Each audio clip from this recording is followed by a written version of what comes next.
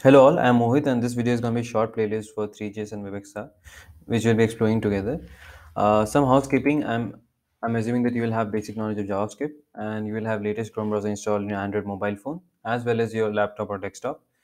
And since WebXR is a very latest uh, API, it doesn't have a lot of browser and mobile support. So uh, to be on a safe side, you can check the link which is being shown in the slide whether mobile phone supports WebXR or not but still even if it doesn't support i'll be showing you a chrome extension api which with the help of which you can do development alongside with me.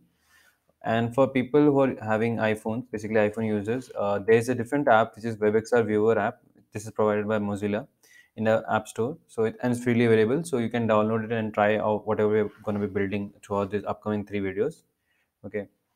So uh, with regards to what we'll be building in the next three upcoming videos we'll be first uh, building a rotating cube. Okay, that's kind of a hello world for computer graphics, and this would cube will be built using 3JS.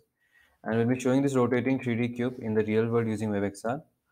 Post that, we'll be doing a very classic uh, AR stuff, which is hit testing, and we'll be showing a marker in the real world. And whenever a user touches basically in his screen when the on this reticles, he'll be able to place those cubes in the real world and they'll be tracked in real time. So if, if you can notice the, the location are not changing for the cubes and all.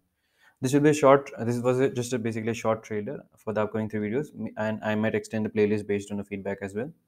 So hope to see you soon in the next upcoming videos as well. Thanks